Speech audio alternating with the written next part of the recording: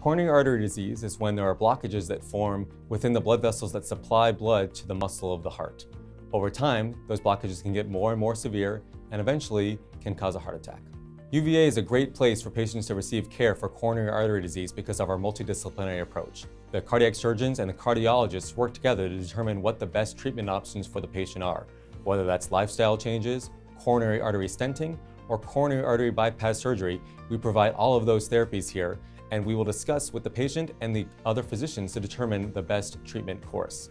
Another reason to come to UVA for coronary surgery is that we're involved in several multi-center national trials looking at different aspects and improving care for coronary artery surgery. One of those trials is called the VEST trial, in which we use a new technology designed to improve the longevity and improve the patency of coronary artery bypass grafts.